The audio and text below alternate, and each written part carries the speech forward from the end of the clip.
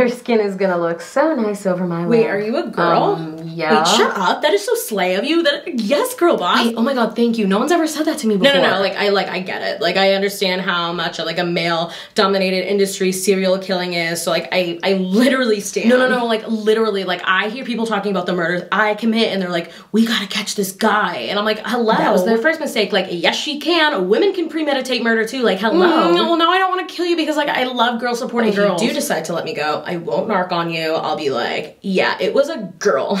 it was a lady killer, okay, and she was super This scary. literally so sweet of you. I appreciate that so much. Yeah, of course. Like, I'm a girl's girl. I am happy to Oh, help. thank you. Like you're totally free to go. Oh, thank you, queen. And seriously, your skin would look amazing over a lampshade. Like, what is your routine, girl? you were so cute. No, it's it's literally like baby oil, moisturizer, and sunscreen. Shut up. That's it. Yeah, literally. Oh my god. Wait, what's yes. do you have Insta? oh my god. Yeah. Put my number Okay, in your phone. Let me grab my phone.